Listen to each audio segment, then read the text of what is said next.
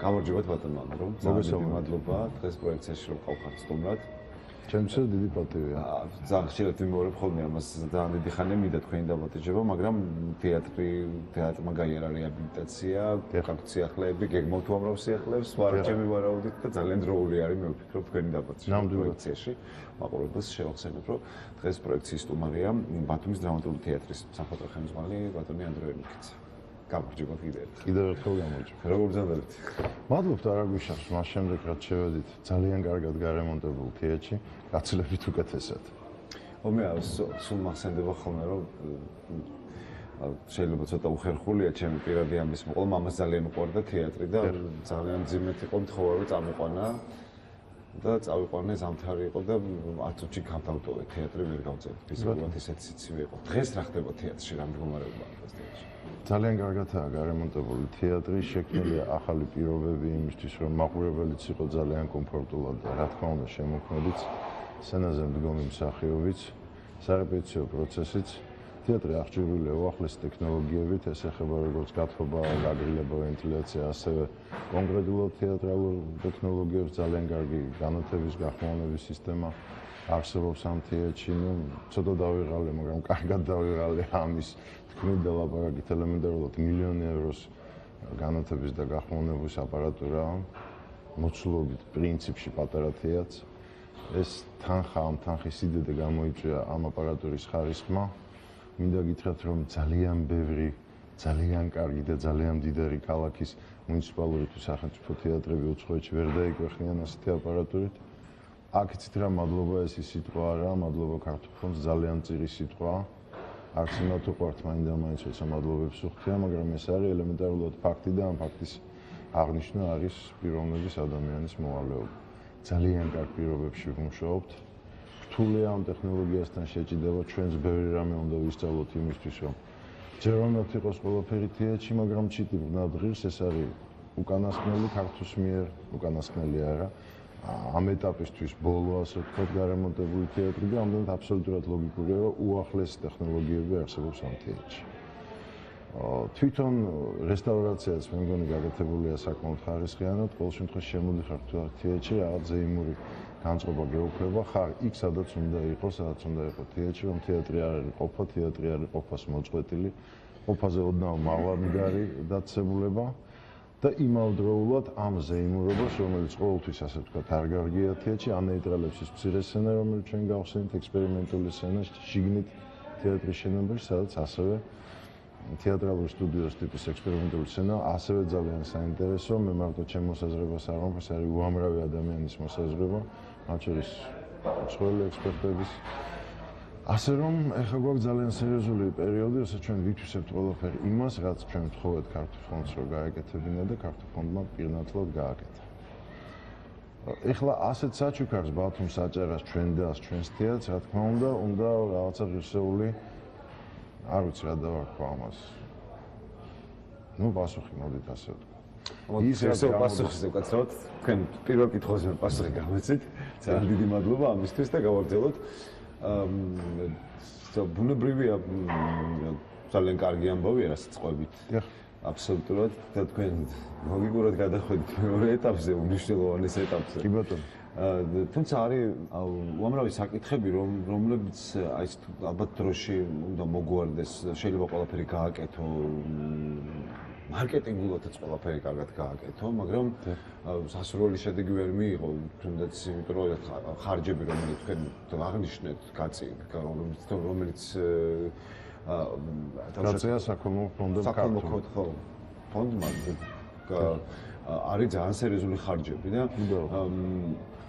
მაგრამ საზოგადოების დამოკიდებულება როგორია? რამდენად დღეს რამდენად მოდის ადამიანი თეატრში და ზოგადად რას დაუკავშირებთ? მე კიდე გამომდინარე სამხატვრო ხელმძღვანელი ხარ და ამ საქმის უშუალო სპეციალისტი ხარ.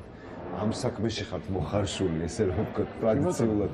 საინტერესო არის, ოღონდ ცალკე თემაა ზოგადად თეატრის საკითხი და ცალკე თემაა ამ ქალაქში თეატრის საკითხი. ბატონო. Ну, რა თქმა უნდა, ამ ქალაქში არსებობს პრობლემები, ძალიან ბევრი ცდუნების ქალაქია ბათუმი. ეს არის, თქვა, ქალაქი, სადაც არსებობს ხოლო თეატრი და ტელევიზია. ამ ქალაქში უამრავი გასართობი ადგილია, სადაც შეიძლება წავიდეს მაყურებელი და არც გაახსენდეს თეატრი. რატო ხდება ეს ასე? ცოტა მეტაფიზიკური პრობლემაა, ცოტა დროშია გაწეული საქმე იმაშია, რომ ბევრი წლის განმავლობაში აქ პრაქტიკულად დრამატული თეატრი არსებობდა ნომინალურად. ანუ ჩვევა თეატრში დაიკარგა. სიარულის დაიკარგა და დღეს არ მოდის ის მაყურებელი თეატრში თუ არ მოდის.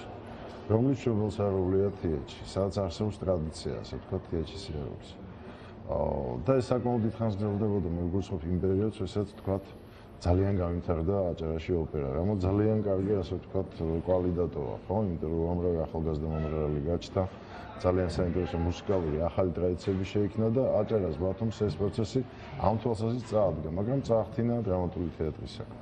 თუმცა დრამატული თეატრის ტრადიციები ამ ქალაქში ისეთია, ინატრებს ნებისმიერი მსოფლიო ქალაქი, იმიტომ რომ როგორ გითხრათ, ნუ პირველი ცნობა ქართულ თეატრზე უცხოეთში, ხო, გავიდა ბათუმიდან ხო სტაინბეკის ესეს გამო, რომელმაც სრულიად შემთხვევით იხილა ისუპ კობალაძის ოდიპოს მეფე და დაწერა არსებობს თურმე ასეთი ქვეყანა არსებობს ასეთი თეატრი, ასეთი საპორტო ქალაქი, სადაც არაფერს არ ველოდი და თურმე არსებობს ასეთი მაღალი ხელოვნება. ესეთ რაშია საქმე თეატრის არსებობა არ არის მარტო მარკეტინგული პრობლემა. როცა შენ მუშაობ იმ თეატრში, მე ხა ჩემ თავზე ვაპარაკობ და იმ კოლექტივზე, რომელიც ასე ვთქვათ ჩვენ, ხო, ჩვენ აი დღევანდელი ფორმაცია ბათუმის თეატრის მოღვაწეობ და ვაკეთებთ. რა თქმა უნდა, ჩვენ მივიღოთ მაქსიმალური მაყურებელი დარბაზში ჩვენ გევალება, მაგრამ როდესაც აი ამ რანგის და ამ ხარისხის თეატრში მუშაობ, ცოტა იმაზეც უნდა იფიქრო, რომ არ დაიკარგოს ის რაც მოიტანეს შენამდე თაობები. არ დაიკარგოს ის სკოლა, ის მემკვიდრეობა, კლასიკა, მემკვიდრეობა ლიტერატურისთვის სასწავლო. ეს მართლა ძალიან თვირთია და მაქსიმალურად უნდა ეძება ამ ორ ამოცანას შორის, ასე ვთქვათ, სწორი ბალანსი. არ მინდა ხა სიტყვა კომპრომისის ხმარება, წარმოუდგენელი სიტყვა. ამიტომ უნდა იყოს დადგმული სპექტაკლები, რაც მეტი ხდება. ყველა სფეროში ეს პრობლემაა. თითქმის ყველა სფეროში ალბათ, ალბათ ასე ხმათ არ მიფიქრია, ალბათ არ მევალებოდა, იმიტომ, მაგრამ იცით რა, ის რაც შეუძლია საქართველოს ღირსეულად გაიტანოს სოფლიო ბაზარზე, ну ერთ-ერთი ვერ ვიტყვი ხა ერთადერთი, რა თქმა უნდა, მაგრამ ერთ-ერთი უპირველთაგანესი თეატრია, იმიტომ რომ თუნდაც ჩვენ თეატრის მაგალითზე ჩვენ ვიანგარიშე ჩახშანწინ აღმოჩნდა რომ უცხოეთში მეტი მაყურებელი მოვიდა ჩვენ სპექტაკლებზე ვიდრე ბათუმში. აი ელემენტარულად და სამწუხაროდ. სასახარულო იმდენ რამზე დიდ დარბაზებში თამაშობდი და დარბაზები იყო გადაჭედილი, ჩამოვიტანე თუ ამრავი პრიზი და ისეთ სპექტაკლებზეც კი, სადაც ჩვენ ნოვთვლიდით რა რაღაც საშუალო რანგისა და ხარისხისა, იქ იყო ასე ვთქვათ ძალიან დიდი მოთხოვნა და ძალიან სერიოზული კრიტიკოსების ასე ვთქვათ კეთილგანწყობა, რომელიც გამოიხატა სტატიებში, პრიზებში და ასე შემდეგ. რაში ასახა ფაქტობრივად ჩვენ ვართ ხეცები, გენიოსები და ჩვენ ვანგრევთ ხეცებს. არა, ძალიან მადლიანი სკოლა გვაქვს. ძალიან დიდი საინტერესო ქართული თეატრალური სკოლა, რომელზეც ზრუნვამ, რომლის განვითარებამ, ახალი გზების ძიებამ რა თქმა უნდა, უნდა გაამდიდროს, გააცოცხლოს ყველაფერი ის, რაც ჩვენამდე მოიტანეს, ასე ვთქვათ, ჩვენო წინაპრებმა, მაგრამ და ეს ჩვენ თუ არ გავაკეთებთ, ჩვენს მაგივრად ამას არავინ არ გააკეთებს. ამიტომ რთული პროცესია, ძალიან დიდი იმედი მაქვს, რომ აი კონკრეტულად ბათუმში ხამ თეატრის გახსნით. იმიტომ ალბათ ყველა საინტერესოს ფიზიკურად ეს არქიტექტურული მემკვიდრეობა, რომელიც ყოველთვის ამაყობდა ყოველი ნორმალური ბათუმელი, ხო, თქვენ მამა თქვენის ასე ვთქვათ, მაგალითად მოხდა.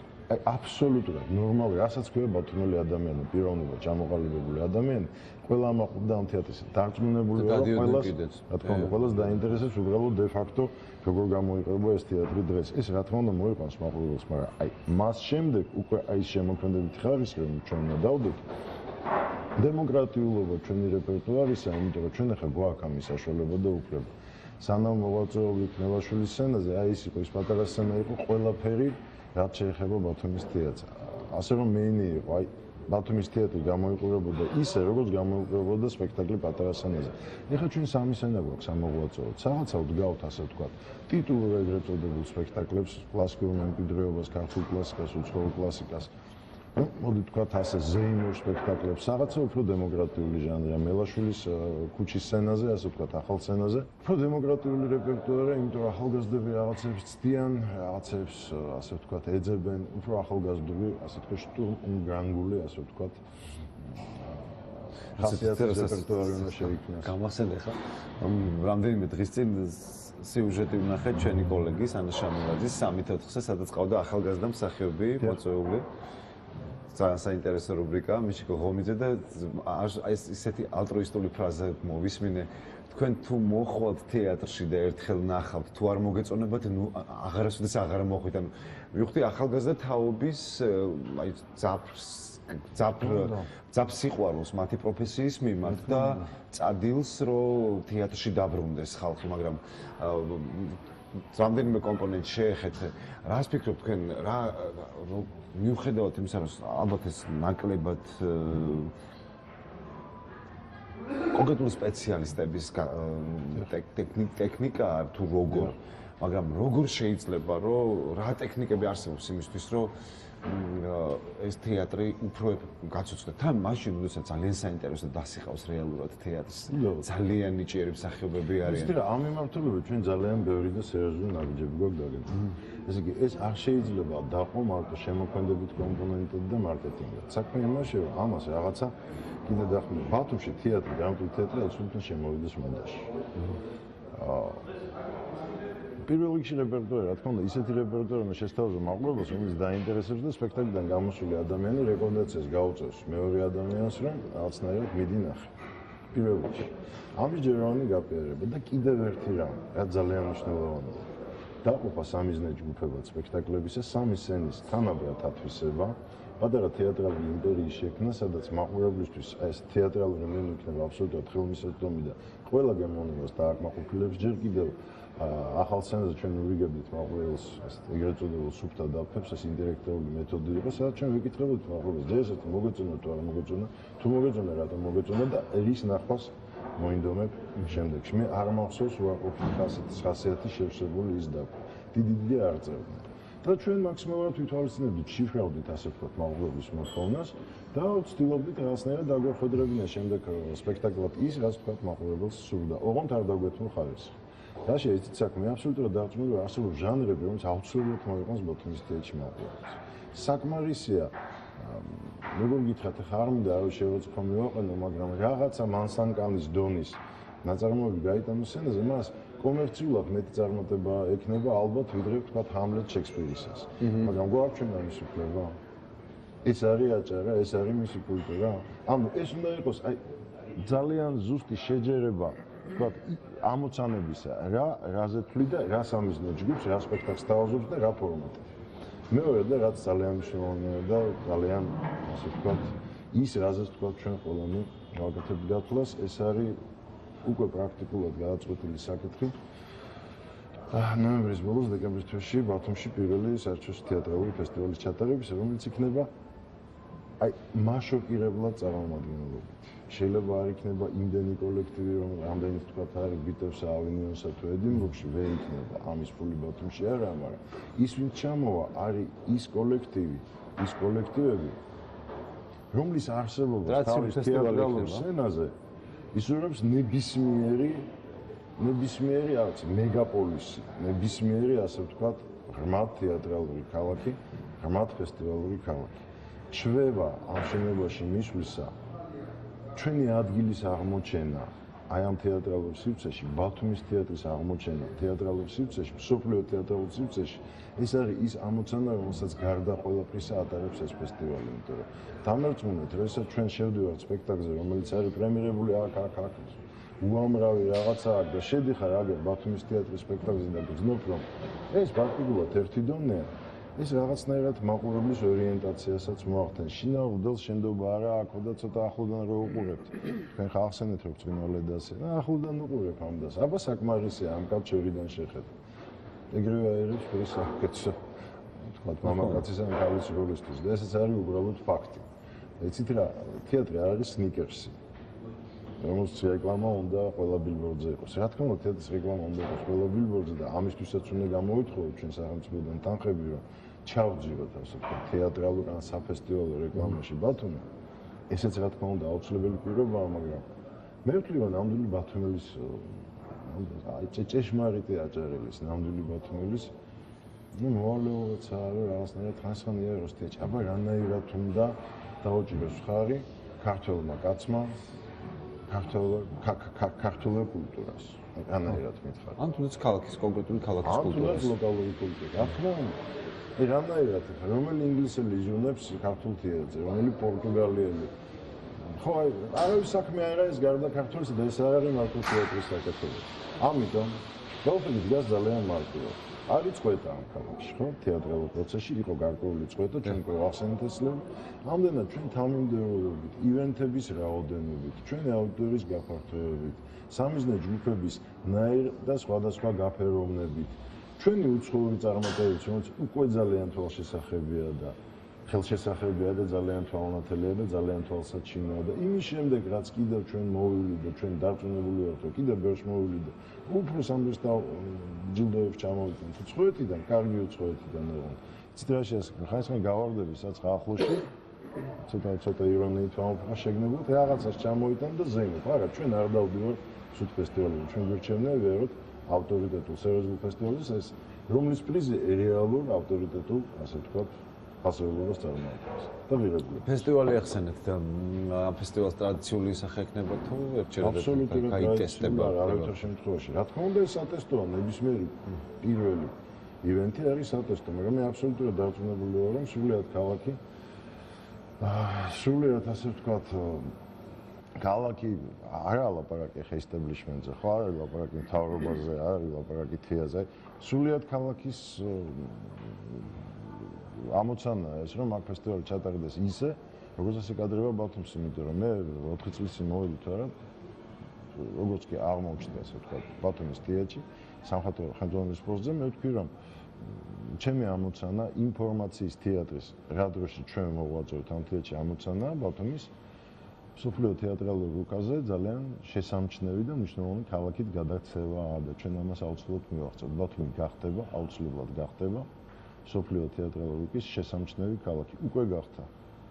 უკვე გახდა ჩვენ ყავს უამრავი პარტნიორი რეალურად, უამრავი საპარტნიორო ხელშეკრულებაა დადებული და ის რაც ხდება ათმის თეატრზე, თეატრის სცენაზე, უკვე არის ლოკალური მომენტი. ეს უკვე მარტო ბათუმელებს არ აინტერესებს, ეს აინტერესებს უკვე ევროპაში ძალიან ბევრ ჩვენ პარტნიორს და ფესტივალის არსებობის შემდეგ კიდევ უფრო გაფართოვდება ჩვენი, ასე ვთქვათ, სამეგრელო მსოფლიოში ის ექსპერტთა კომიტეტი, ექსპერტთა საბჭო, დირექტორთა საბჭო, რომელიც უკვე ემსახურება ამ ფესტივალს წარმოადგენს. კიდე ცალკე ღირებულებას ძალიან სერიოზული ხალხია, ასე ვთქვათ. ამ საქმეში ჩართული მსოფლიო რანგის მოღვაწეები, აქედან გამომდინარე, მათ ბაგედან გაჟღერებული რომ ბათუმში აპირებენ, ბათუმში უნდა ჩაატარონ, ბათუმში იწება ახალი საქმე. უკვე ძალიან დიდ დაინტერესებას ქმნის სოფლიოში, რაც გამოიხატება იმ პროგრამით, რა პროგრამითაც ჩამოვლენ ელემენტარულად კოლექტივები. მე ვწმუნდეთ.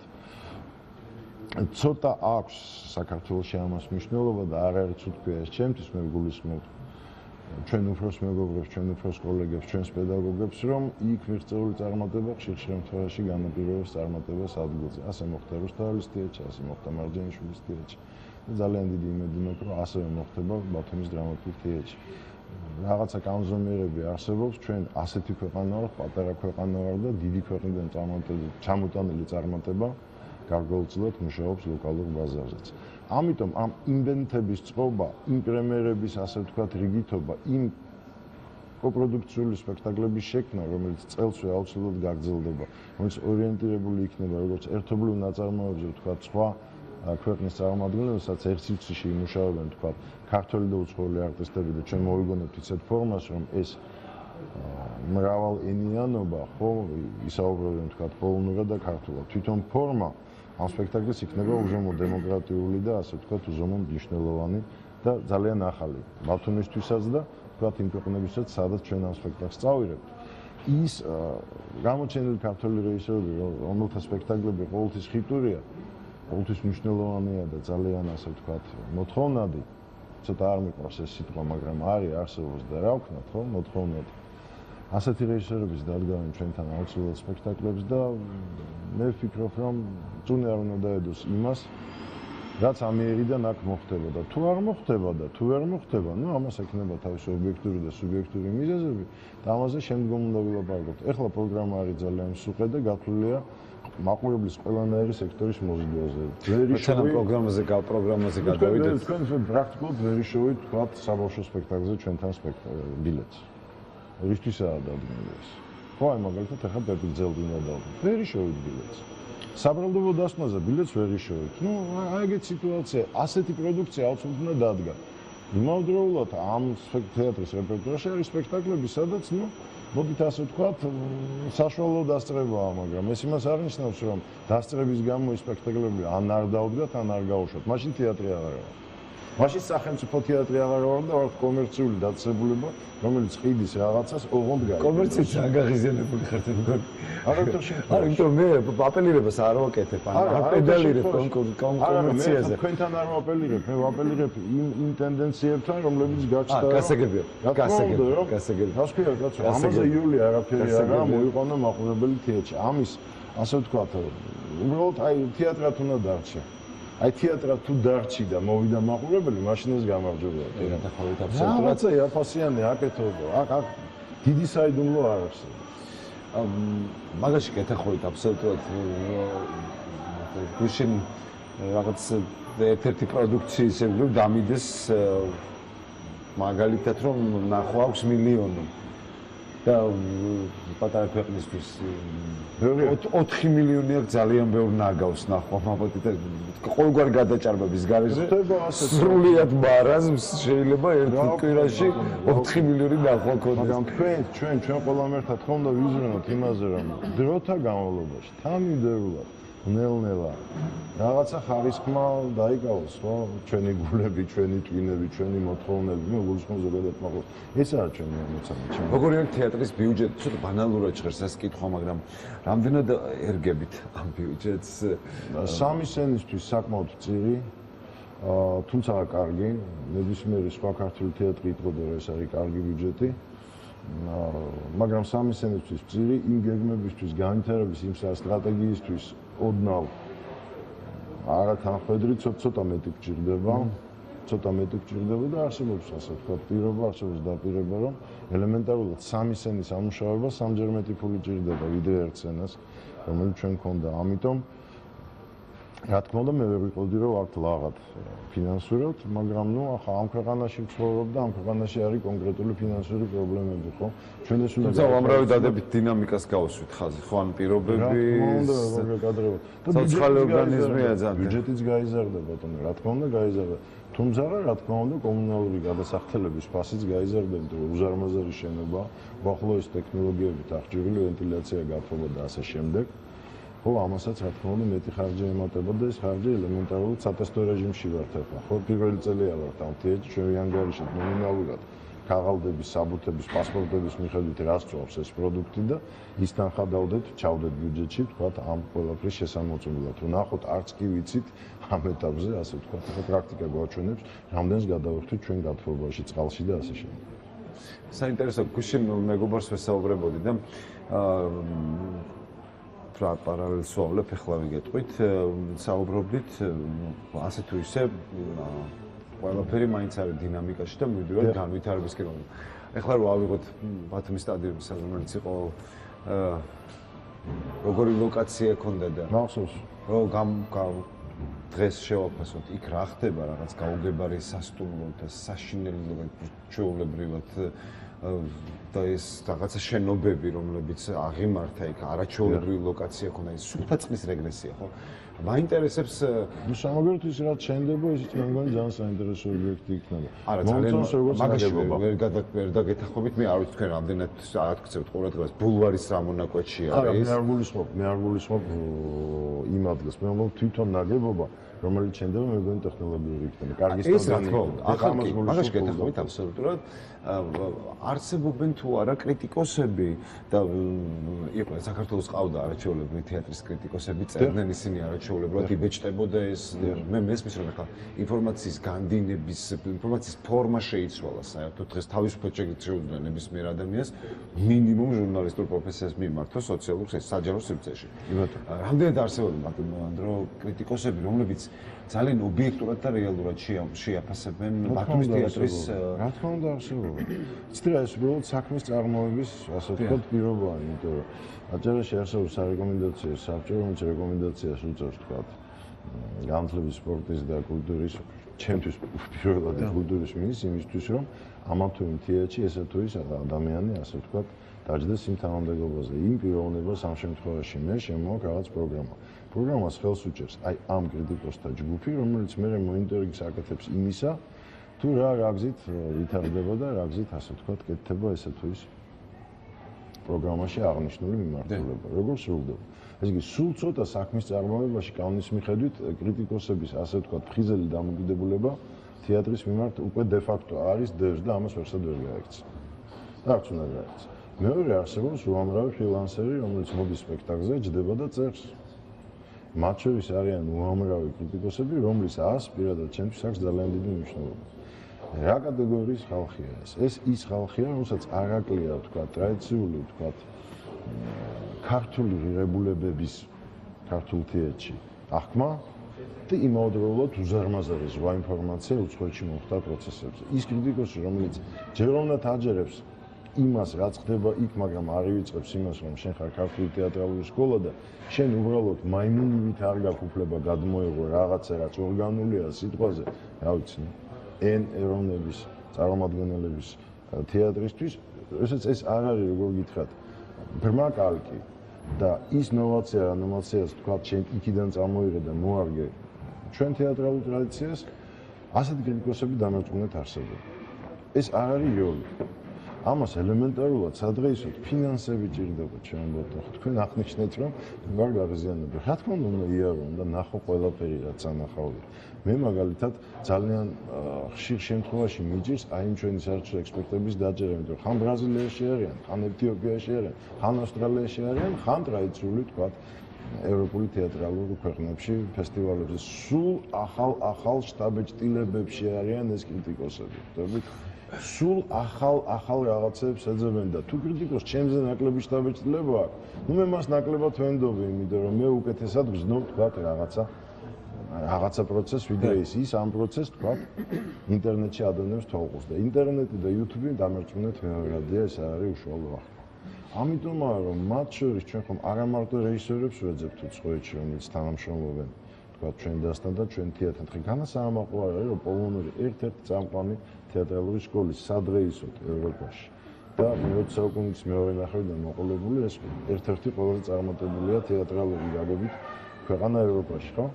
აი ამ ქვეყნის წლის მოღვაწედ გავს ჩვენთან რეგულარულად სპექტაკლს. ცუდია? ალბათ არც. ალბათ კარგია, რომ არტისტი ასე ვთქვათ ეჩოვა აი ამ კულტურას. ჩვენ ხომ ამ გზით მივიდივართ, რომ თეატროდნეებსაც ვეძებთ უცხოეთში, აბა ექსპერტთა საბჭო ნახევარზე შედგენილია, ვთქვათ, ჩვენი უცხოური კოლეგები. ასე რომ ჩვენც აქ მივიდივართ ინტერნაციონალიზაციაზე, თუმცა ეს არანაირად არ ნიშნავს იმას, რომ ბათუმის დრამატული თეატრი უგულოყოფს ადგილობრივ ცუდი სიტყვა გამომივიდა კადრს. არ არსებობს. ჩვენ გასულები ვარ და უპირველესად ყოვლისა გუწფელად ჯერა რო წაღნა აღნიშნე კიდეც ჩემი კოლეგის რეპორტაჟთან დაკავშირებით რატომ მომეწონა ბოშის ფრაზა რომ გუწფელად ჯერა რომ ადამიანი რომელიც თავშეთა რაკოლ ტიპის მდორე პროდუქციას პროდუქციას არის შეჩვეული და რაღაც აი შეიძლება ძალიან პათეტიკური ვარ გუწფელად ჯერა რომ ერთხელ რომ მოვიდეს თეატრში. მეორეჯერ აუცილებლად მოვა იმიტომ რომ მე ხდება საუბედუროთ ასე ძალიან კარგად მახსოვს ერთ-ერთი პრემიერა ჩვენი მაგბეტისა და ახლობით 4 წლის წინ იყო ეს ამბავი და მოვიდა უნივერსიტეტი. მოვიდა რუსთავის სახელმწიფო უნივერსიტეტი და მოვიდნენ ახალგაზრდები. ჩვენ დაამთავრეთ სპექტაკლი, მოვინდომეთ რაღაც დაშლა სახში წასვლა და უცბად შემოვიდნენ კულისებში ჯერ კიდევ რემონტში არ ვიყავით გასულები და ბავშვებს ძალიან უნდა თქვენთან შეხედა. ჩინოში ზათ არ ვიყავით. ნუ გამოვიდით სცენაზე და დაუწყეთ საუბარი ბავშვებს. მართლა ავტონომებულები იყვნენ ისეთი არც ველოდებოდით არაფერს ეს იგი საუბრის ინიციატორები იყვნენ ისინი და უამრავი კასიტყვები გვითხრეს ძალიან მოგვაფერნეთ ბევრი შეკითხვა დაგვისვეს თქვა ეს რატომ ასე ის რატომ ასე და ძალიან უშუალო საუბარი გამოგვიდა რომ გრძელდებოდა დაახლოებით რომელიც თემები ვფიქრობ ეს ხალხი არ გავა თეატრიდან სამწუხაროდ იქ დამსწრე საზოგადოების 10% თუ მინახავს მე თეატრში იმიტომ რომ სოციალური ფონიც არსებობს. იცით რა, თუ სოციალური ფონდი ყველაფერზე მუშაობს, თეატრზეც იმუშავებს. შეიძლება აღარცა ეს უკვე ბათუმი შეიძლება იმ კონკრეტულმა ადამიანმა რომელიც წარუშლის დავაჭრება მოახდინა ჩემზე როგორც მაყურებელმა უკვე აღარ ცხოვრობს ბათუმში ან ელემენტარული საშუალება არ აქვს თეთრ მოსვლისა ამასაც ნოივიწყე ხო არ კიდე მეორე რეალობა შეიძლება ძალიან სნობურად ჟღერს მაგრამ ქალაქში ადამიანებმა დაანებეს ქალაქურ ცხოვრებას თავი ქალაქური ცხოვრების ნაწილია თეატრი აუცილებლად ეს არის სნობური ეს არის ელემენტარული ხო როგორ გეკადრება ქალაქში აღარ ცხოვრობს ადამიანები ქალაქური ცხოვრებით. ქალაქს აუცილებლად თავის წესები აქვს. არა, ეს ხომ არის ის მაყურებელი ჩეთან დადის. რა თქმა უნდა. აი ის აი მაგადგან დაავიღოთ ეს მაგალითი, იმიტომ რომ ცდა მე არ ამგონია რომ რომელიმე ვთქვათ დღეს არსებულ თეატრს კონდეს ასეთი ფართო პრეისკურანტი წყალებში ვაფრობ ამ სიტყვას რომელიც გააჩნია ბათუმის თეატრს და მე ამაზე პასუხს ვაგებ. ეს არის მარტო ჩემი მოსაზრება.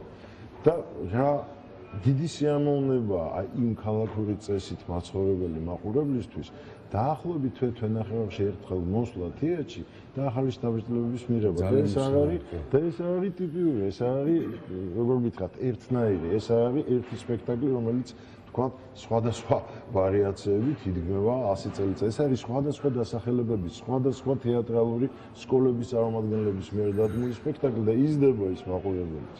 იმ მაყურებელს ბოდიში ამ სიტყვის ვერ აჭმევ რაღაც მიაფასიან რაღაც უკვე ბათუმის მაყურებელი ჩვენთან რა დადის ასე იოლად არ აღიარებს რაღაცა ჭახაფიშებს უკვე უკვე საკმაოდ გემოვნებიანი გახდა იმიტომ საკმაოდ გემოვნებიანი პროდუქტს თავაზობთ უკანასკნელი 4 წლის განმავლობაში რამდენად რამდენად გაგვთ შესაძლებლობა და ბიუჯეტი ვახსენეთ და ამდენ გეძლევა შესაძლებლობა მის მიეცეთ საშუალება ახალგაზრდებს რომ აი ამ ძლიერ დასთან ერთად წამოვიდეს კიდევ ახალი თაობა. რა თქმა უნდა აუცილებლად მივცემთ ამ საშუალებას. მე ამაზე უკვე ვილაპარაკე ადრე ვილაპარაკე არსებობდა ერთი ცალის სცენა. და შვიდ ან რა სპექტაკლს ვაკეთებდით იმ პატარა სცენაზე და ფიზიკურად დრო იყო იმისთვის რომ თქვა ყველაფერი მოგვესინჯა და ყველანაირი ახალგაზრდა ზერთ ყველანაირი ალბათ არც მაგრამ საინტერესო წარმომადგენლები ამ ასაკობრივი ჯგუფისა შემოგვეშვა თეატრში, ხო? ეხლა ამის დრო არის. არ ვიცი რამდენად ფინანსი, მაგრამ დრო და სივრცე ამისთვის გაჩნდა, იმიტომ რომ არსებობს სამი სივრცე. სამ სივრცეზე დადგმული სპექტაკლები და ერთ-ერთი სცენა აუცილებლად იქნება ახალგაზრდების. და სცენა იქნება მელაშვილის, ასე ვთქვათ. მელაშვილის ქუჩაზე არსებული ახალი სცენა. რა რა საანიჭებთ ყველაზე? რა არის მნიშვნელოვანი რეპერტუარი შერჩევის დროს თქვენთვის? იმიტომ რომ ზუსტი ბალანსის დაცვა სამიზნე ჯგუფებს შორის და პირნათლივ ჩვენი ასე ვთქვათ მენტალური ამოცანების შესრულება. მენტალურ ამოცანებში რას გულისხმობთ? იცით რა საქმე? ქართული სიტყვა უნდა ჟღერდეს ქართულ სცენაზე. კიდევ ერთხელ ვიმეორებ, არ არსებობს სხვა თეატრი, რომელიც ქართულ სიტყვას ააჟღერებს სცენაზე. ეს ქართული თეატრის გასაკეთებელი. ის რაც არის, თქვა ჩვენი მემკვიდრეობის აი დანაბარები ჩვენი წინაპრების იმიტომ რომ იროაწე შექმნეს და დადეს ფანტასტიკური პროდუქტი ხო? ქართული თეატრი როგორც ფენომენი იყო აბსოლუტურად უნიკალური სულ რაღაც 10 წლის წინ. სულ რაღაც 15 წლის წინ. ეს უნიკალურობა ჩვენ შევინარჩუნოთ ეს არის ის რაც აი ბერიკაობიდან და ყენობიდან მოყოლებული ქართულ ჯიში და ქართულ გენში დევს. ეს არის ის ჩვენი იდენტიფიკაცია. თეატრალური გაგებით გლობალიზაციის პერიოდში ქართული თეატრი არის იმდენად მაგარი მეინ ტრეიდმარკი, რომ ამის ხელიდან გაშვება არის ელემენტარული მარკეტინგული სიბეცე. ანუ ამის ხელიდან გაშვება შეიძლება, რასაც ჯერ არაფერი არ ვიცით, აფშეზე წერია ამა თუ იმ ფესტივალზე ჩამოდის ქართული თეატრი და მაყურებელი ავტომატურად მოდის. იმ ჩვევის გამო მოდის, რომ ქართული თეატრი მნიშვნელოვანია. იმ დიდი მოღვაწეების გამო მოდის. და ნუ ახლა ჩვენ არ უნდა გავაწყვილოთ. ამიტომ ვამბობ, რომ როგორ გითხრათ, ეს არის ის რაც ჩვენში არის, ეს ჩვენ მოგცა ჩვენმა წინაპარმა და ჩვენ გადავცეთ ჩვენ მომავალთაობას, ამიტომ აბსოლუტურად ლოგიკურია, რომ იმ სამსენაზე ერთ-ერთი სცენა უნდა დაუთმოთ ახალგაზრდებს, იმიტომ რომ ჩვენს მერე მათ უნდა იღვაწონ, ხო? ეს ხო არის აბსოლუტურად ლოგიკური. რა თქვია ჩვენს მერე, ჩვენთან ერთად. ეს არის რაღაცა ერთობლიობა.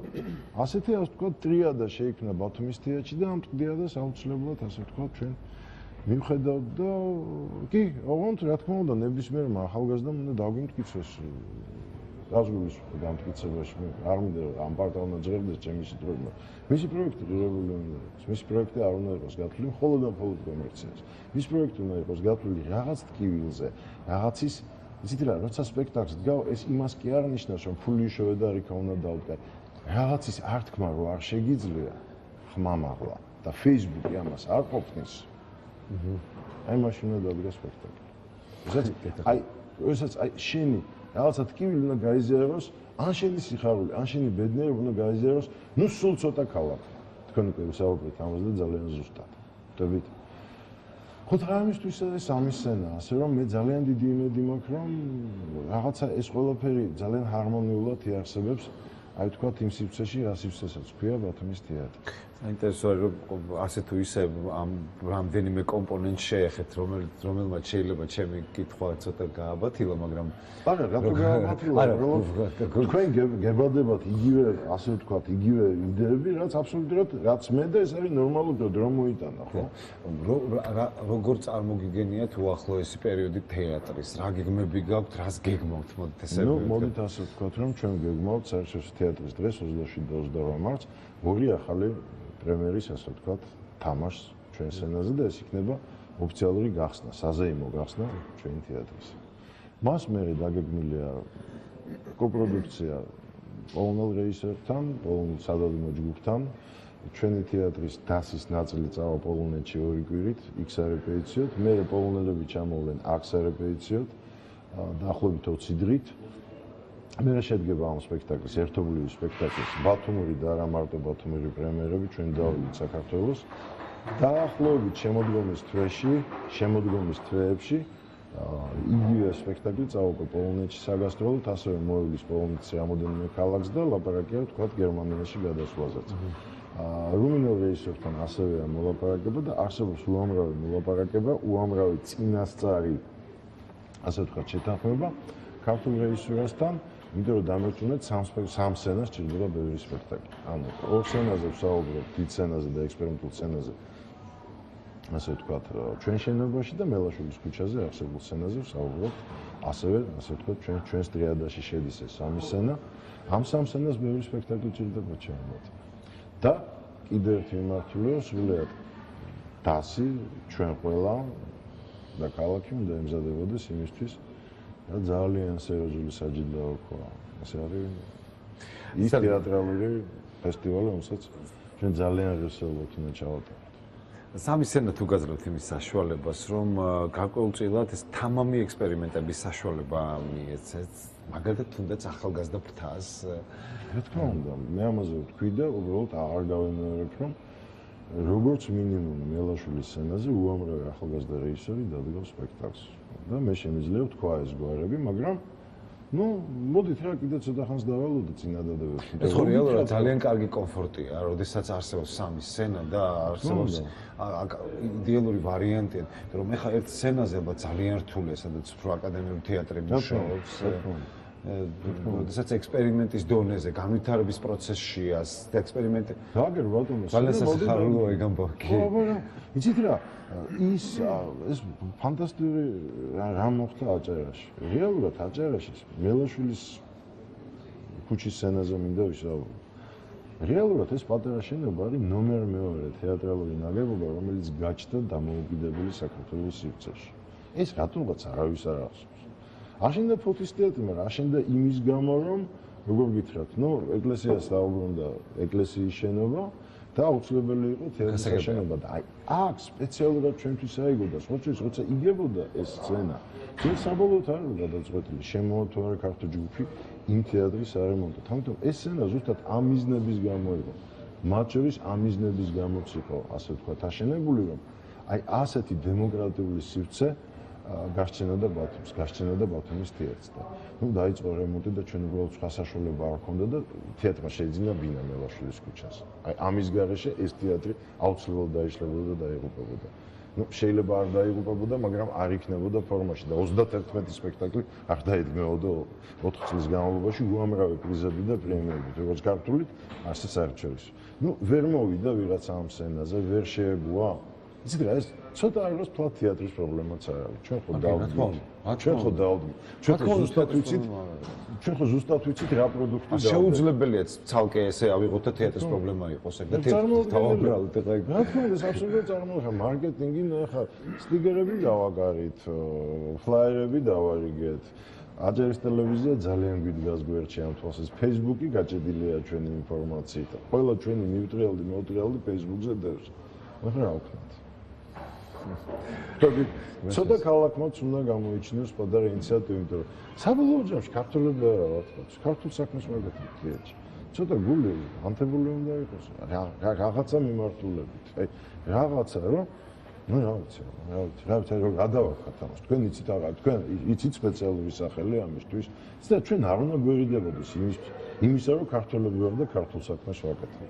ანუ საზოგადოებრივ ვიძახი რომ მე მე როდესაც ძალიან ხშირად ვადევნებ თვალს პროცესს ძალიან ხშირად ვიყურებ გადაცემებს სადაც საუბრობენ ამ საკითხებზე ჩვენი მსახიობები ადამიანები ქალაქელები რომ მაინც ვფიქრობ რომ კიდევ ერთხელ ვიძახი მე არ ვიცი რამდენად რამდენად ეს სიამოვნება ვინმეს ამ ფორმით საკითხის ფორმირება ან რამდენად განაცხენდება, მაგრამ მე მაინც ვფიქრობ, რომ თეატრი, თეატრთან მიმართებაში თეატრი არის ტესტი ქალაქში ქალაქური ცხოვრების წესის. აბსოლუტურად მართალია. თუ თუ ქალაქი ცხოვრობს ქალაქის ცხოვრებით, აუცილებლად იქნება დაინტერესებული რა ხდება თეატრში და აუცილებლად გაივლის და გადავლებს თავს. მithmetes ეს ყველაფერი არსებობს, დებს აგერა ჩვენ თეატრის სცენაზე.